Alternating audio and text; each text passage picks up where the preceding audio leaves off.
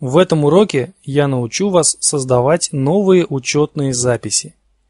Я рекомендую вам делать это под контролем более опытного пользователя, но возможно вы справитесь самостоятельно.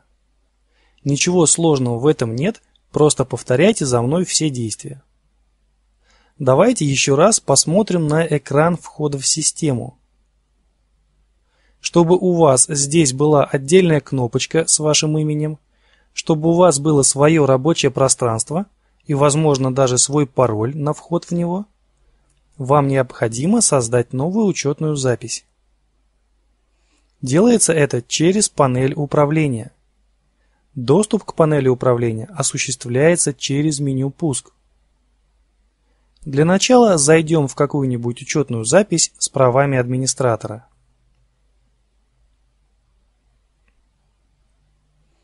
Находим кнопку «Пуск», вот она. Щелкаем по ней один раз левой кнопкой мышки. Находим пункт «Панель управления» и щелкаем по нему один раз левой кнопкой мыши. Перед нами появится панель управления компьютером. Очень важно, чтобы вид в панели управления у вас был такой же, как и у меня.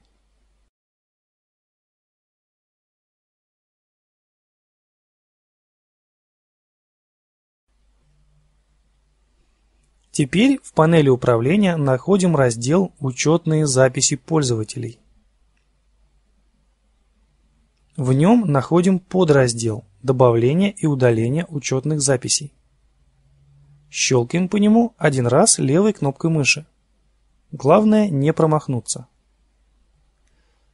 Появляется новое окно «Управление учетными записями». Здесь мы можем создать новую учетную запись. Находим строчку «Создание учетной записи» и щелкаем по ней один раз левой кнопкой мыши. Процесс создания новой учетной записи начался. Здесь нам надо ответить всего на два вопроса. Как будет называться наша учетная запись, какое у нее будет имя и какой у нее будет доступ. Итак, в поле «Имя учетной записи» с клавиатуры мы вводим имя своей будущей учетной записи. Если имя не вводится, щелкните один раз левой кнопкой мыши в поле ввода. Здесь могут быть как буквы, так и цифры. После того, как мы ввели имя, нам нужно выбрать тип учетной записи. Есть два варианта – обычный и администратор. По умолчанию установлен обычный тип. Оставляем все как есть, не будем ничего менять. Итак, мы ввели имя.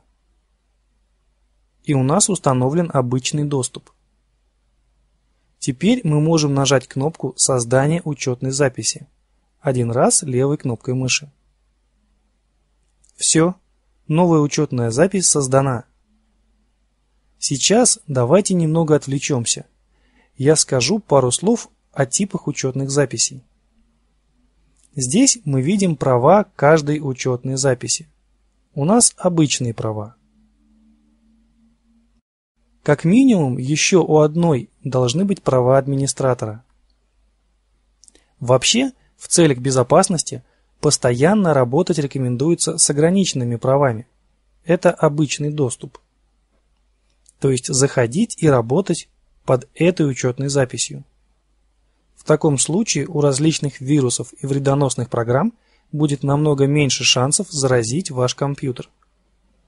Но иногда нам требуются права администратора, например, когда нужно установить новую программу.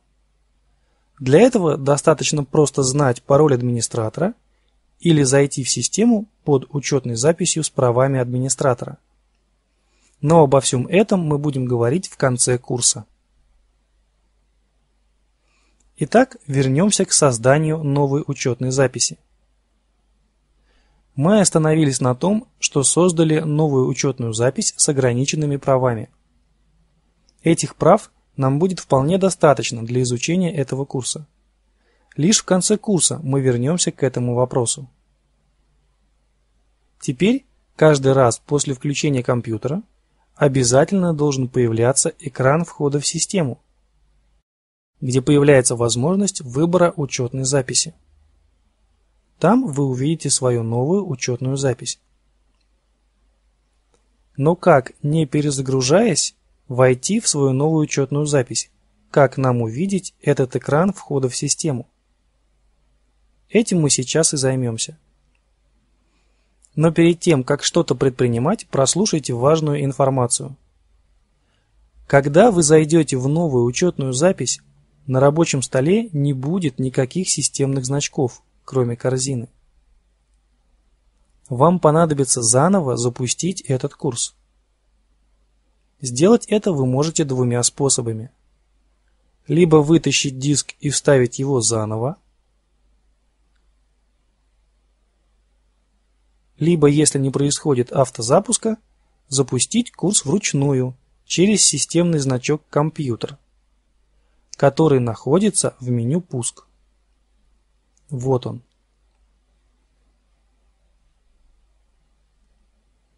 В любом случае, прежде чем что-то предпринимать, досмотрите этот урок до конца. Давайте вернемся к нашей ситуации. Закроем окно с учетными записями нажав на крестик один раз левой кнопкой мыши. Теперь щелкаем один раз левой кнопкой мыши по меню «Пуск». Выполняйте следующие действия. Нажмите один раз левой кнопкой мыши вот на эту стрелочку. Появится список команд. И здесь мы выбираем выход из системы, щелкнув по нему один раз левой кнопкой мыши.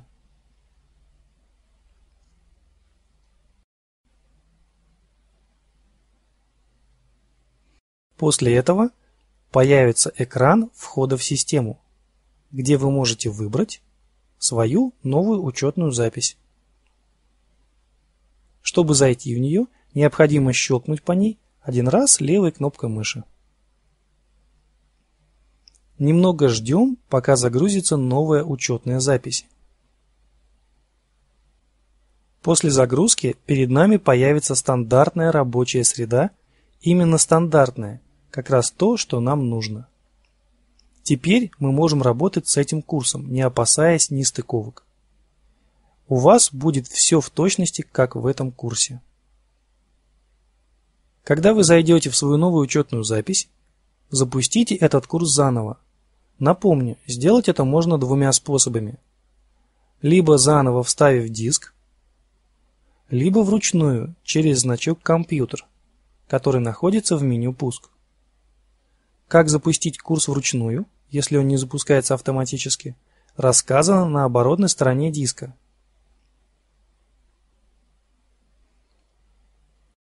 После того, как вы запустите курс, переходите к уроку «Последние приготовления».